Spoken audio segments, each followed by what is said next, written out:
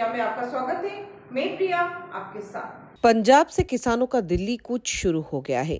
12 फरवरी की रात चंडीगढ़ में साढ़े पाँच घंटे चली मीटिंग में किसान नेताओं और केंद्रीय मंत्रियों के बीच न्यूनतम समर्थन मूल्य गारंटी कानून और कर्ज माफ़ी पर सहमति नहीं बन पाई थी। किसान मजदूर मोर्चा के संयोजक सरवण सिंह पंधेर ने कहा, सरकार किसानों की मांगों को लेकर सीरियस नहीं है। उनके मन में खोट है। वह सिर्फ़ टाइम पास करना चाहती है।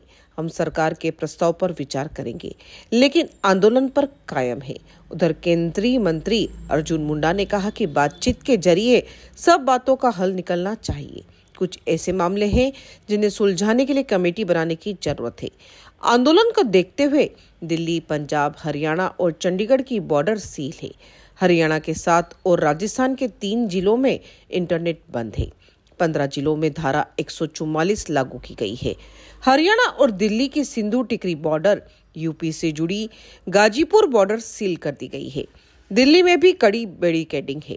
यहाँ एक महीने के लिए धारा एक सौ चौवालीस भी लागू कर दी गई है। भीड़ जुटने और ट्रैक्टर्स की एंट्री पर रोक लगा दी है। इसी के साथ बने रहिए एशिया न्यूज़ इंडिया के साथ। धन्यवाद।